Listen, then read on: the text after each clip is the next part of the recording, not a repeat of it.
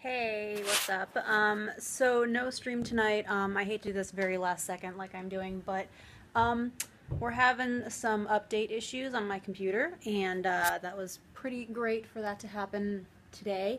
Um, and like I had everything ready to go. I was gonna be wearing, you know, I have my by hook or by crook shirt on. I got my necklace, um, but I just have. I have this I'm trying to deal with, and I have a big project due for school tomorrow that I am kind of not all the way done yet with.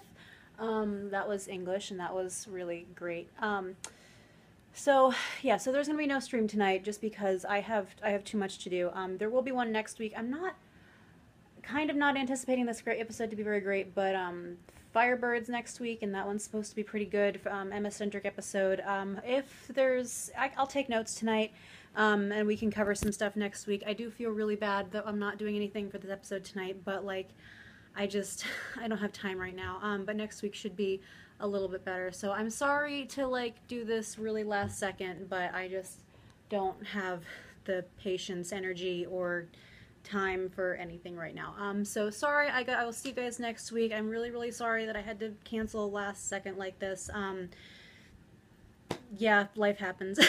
okay, I will see you guys next week. Thank you for watching. Bye.